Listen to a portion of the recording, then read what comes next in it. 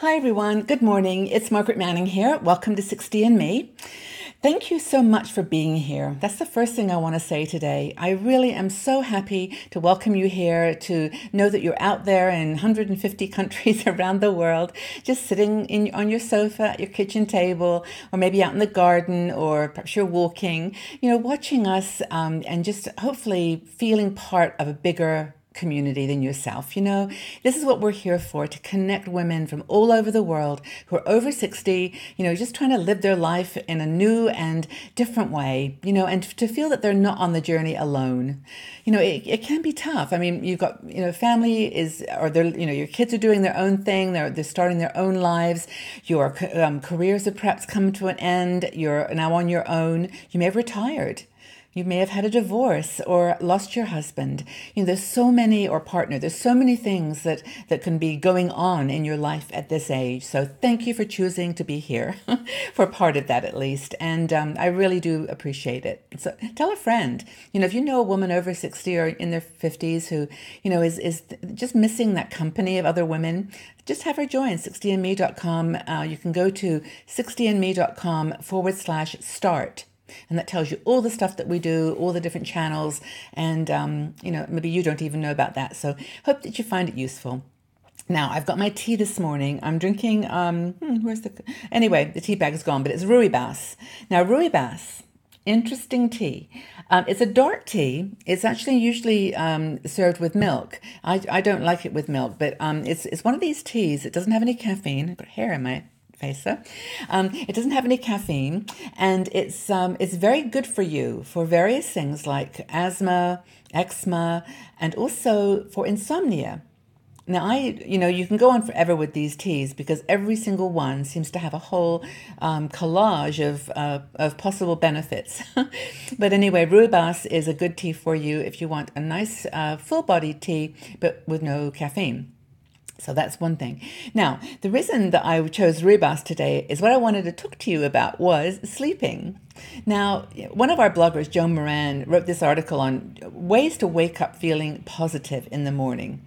Now, this isn't really a, uh, a discussion about you know getting to sleep necessarily or or staying asleep. It's what you do when you wake up. Now, I mean, we, you know, you may have had a bad dream. You know, you you may have just been tossing and turning all night. You may have an achy body. You may you may have been out walking or just just feeling a little bit um, under the weather. You could have had um, this desire to just sort of get back in the co- under the covers and go back to sleep for a few hours. and sometimes that's all you need to do.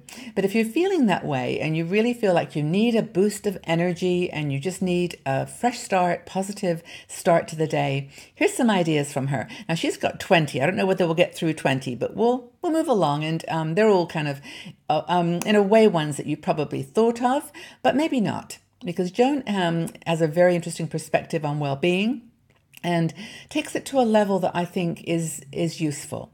So Here's some ways to wake up positive. First thing, don't move a muscle. Stay there. Lie still. don't move. and just let your body catch up with your mind. Just just relax for just a minute. Don't move. And I think that just in doing that, you can continue to, to indulge in the relaxation and then go into the day. You can just have that pause where you appreciate and you embrace the stillness. Second thing, try to remember your dreams. Now, there are certain cultures in the world where the telling of the dream is more important than the dream itself, is how you interpret it. So I think that's kind of nice to, if you just woken up from a dream, just lie there for a few minutes and try to remember the details. And in your mind, try to remember, well, remember the words that you use to describe the dream and if there's any words that come out or do you maybe just feel a bit like crying? I mean are there there things from your dream that, that stay with you? Pay attention to those. Joan recommends you really watch your dreams. Train your mind to remember your dreams.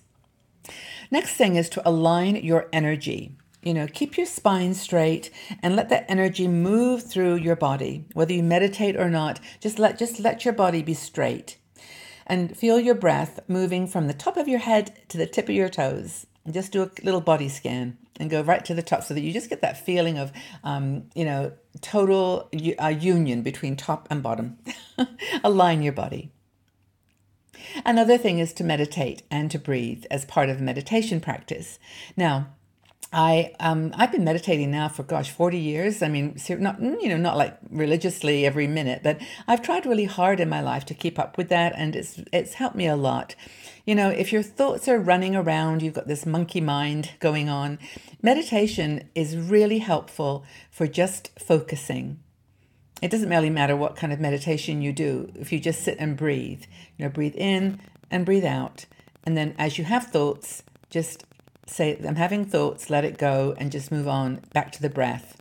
Just that process of moving on and back to the breath is really good for focus. It's a super, super good way to um, then prepare yourself for the day. And that, believe me, that monkey mind will keep coming back. Um, if you don't know what monkey mind is, uh, we did another video on that. You can go check it out. It's just just chatter. So don't attach. When you wake up, don't attach yourself to the thoughts if you can. I mean, there may be something really on your mind that you just can't let go, and that's okay. I mean, if it's something personal that's happening in your life, sometimes you just can't let go, and you and you do stay with that thought all day for days. It just you know grief and and loss and sadness does stay stay with you, but try if you can to not attach yourself, because I think that that's what takes you down a little rabbit hole of depression, and you don't want to go there. Another thing is to consider what makes you happy and this is um, one of Joan's suggestions, and you know we, we've written about this too. This gratitude attitude, you know, you just for a minute, if you've got something on your mind that's kind of making you feel worried, then just try to think of three things that make you happy. Not that one thing that's making you sad, or even three things that's making you sad. Just think of things that make you happy and say them out loud. Smile. Happy thoughts will follow a smile. It's true. Just go to the mirror and smile at yourself. I know sometimes it's not easy and little tears are coming down the cheeks at the same time, but you know, just just try to smile. The, inner gratitude, that inner clock will, you know, will begin to nudge you. Just name five things that you're grateful for, and then and then smile. It's really good. Another thing that uh, Joan mentions is to give yourself a break. You know, we're so hard on ourselves. We really work so hard to, um, you know, to keep up with everybody, to pr- prepare and, you know, please everyone. But, you know, we're better than we think. And I think just giving yourself a break, be just lightening up a little, being more carefree is really important. Now, along with holding on to the good thoughts is letting go of the negative thoughts. Not just letting them come in and sit there for a while, but just let them go. Just let them go. Honestly, but by the age of 60, you know, we've had so, so many ups and downs in our lives that we do know how to deal with a, de- a negative thought because we know from experience that nothing is gained by dwelling on that negativity. Nothing. We just know it's you just I mean don't even have to uh, justify yourself. You know from experience that letting it go is the best thing. And then you can leave a space for love, leave a space for the positive to come in. Yes instead of no. Now, this is actually really interesting. I've been thinking a lot about this in terms of downsizing. And you know, you think about minimize, minimizing your life, simplifying, and you think of saying no. No, I don't want that anymore. I'm going to give that away. No, that doesn't fit me anymore. You know, no, I'm not interested in having that in my life anymore. And really, what you're saying is yes, because in letting that go, you're leaving space for the yes. You're saying, yes, I do want this, or I do want that. You don't want the thing you're letting go. So in in effect, it's the same thing as Joan's saying, is thinking yes instead of thinking no. Now, staying present, of course, this is tough. I know this is really tough to stay present and not worry about the future, not regret about the past. it's just being right there in the moment. And sometimes for me, a cup of tea does that. I don't know why, but just having a cup of tea makes me feel like I'm there. I'm right there, or even cooking something. It just puts me in the present, and that gives you power. It does because when you think about wor- uh, the future, worry about it, or you you regret things in the past, you're just zapping your energy, in my opinion. So that's just my advice. Let it go. Um, be with happy people. Joan's got a, a great um, discussion here. I mean, it's really about not letting go of friendship just because it's not convenient right now, or you know, just not being being mean. But if there's people in your life that are toxic, or or you know, work situations or whatever, just let them go. and surround yourself with joy, joyful people, people that love you, people that care about you. You know, and when they say, "How are you feeling today?" well, actually listen and uh, and care what you say. And those are the people, in my opinion, that we have to surround ourselves with. Now, of course, she talks about taking on positive pursuits like gym, going to the gym, eating healthy, all those things that we need uh, and can do in our control to make us feel more positive in the to start the day. Yeah, it's easy to go the other way, but you know it's it's better for you if you can choose positive and go and do some exercise.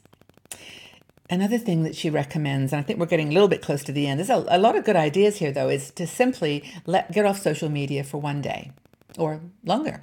Just say on Facebook, going away for a few days, folks. Hope everybody has a wonderful week and just letting it go for a few days.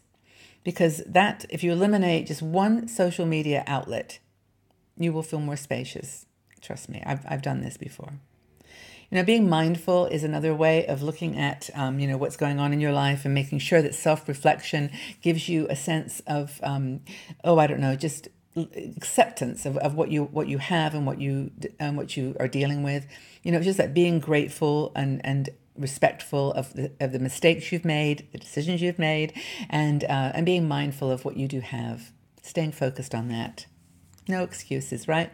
No excuses no blame. Just take responsibility. Own it. Own what you the decisions you've made. There's no such thing as luck in life you know? You don't you don't get luck just because you know it, you wish it. It happens because you work for it. And we know how that works right? We do know how that works. And so i would say you know take responsibility for your mistakes. Okay here you are. Not in a good situation but you know own it and live it and move on. And move on with positivity I know I'm, I'm honestly, I'm trying not to be like a Pollyanna about this. Like everything's going to be just fine if you just let it go. I mean, I know that's not true at all. It's so hard. And I'm really respectful of that. Lots of other things you can do, like listen to music and go for a walk or to go dancing. You know, all these things. If you start your day with those things, any of these ones that we've mentioned, I think I've gone through almost the whole 20. But when you start your day that way, it's a positive start to, to your, your life. And every day is like a new day. You've got a blank slate. You can bring challenges with you and problems, or you can let them let them go and, and start fresh. Hope that's been useful. I, I feel as I sometimes talk about these things, I'm kind of preaching to the choir, like we actually do know this stuff. But as I hear myself saying it, I think, hmm, I should have done that. Or I, I mean, I learned from it too. So um, if you found that useful, I, am I'm, I'm really happy. Um, I would love you to leave a, co- um, a comment. You know, I would really love to know what's the first thing that you normally think of when you wake up in the morning. Leave your comments in the section below. We'll have, have a dialogue and uh, share and look out for people that are saying things that might need a hug. Let's make it a hugging day. Just reach out and give virtual hugs. And let us know what's usually the first thing that you think about first thing in the morning. Okay, everyone. Well, thank you again for being here from the bottom of my heart. I really do appreciate your support and being here. And I look forward to the conversation.